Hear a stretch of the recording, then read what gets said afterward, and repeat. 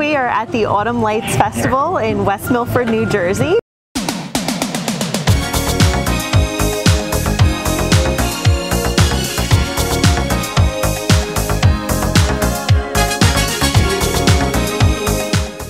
The Autumn Lights Festival was a celebration of the first traffic light in West Milford. So it's been going on for over two decades.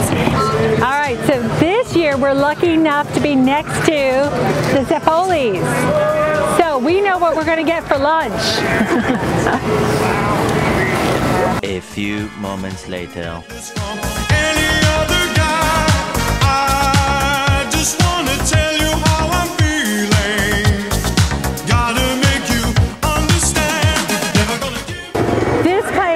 Always packed. There's a standing line. Last year it had to be 40 people deep waiting to pick the food.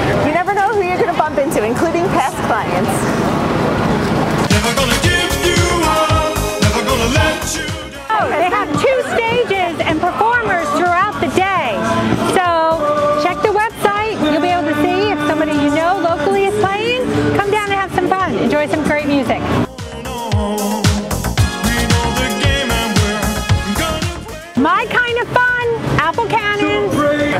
Come on, let's get some beef jerky.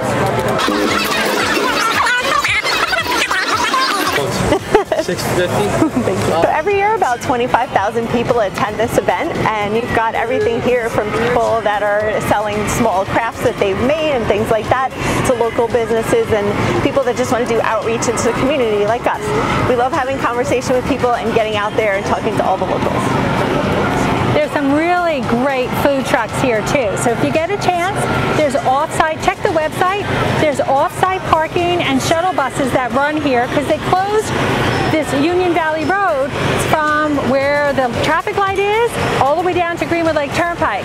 So crowded. This hasn't even opened yet and look how busy it is with visitors. Thanks for joining us for this great community feature today. We hope that you enjoyed our West Milford content. Don't forget to check out the rest of our YouTube channel for more on the area.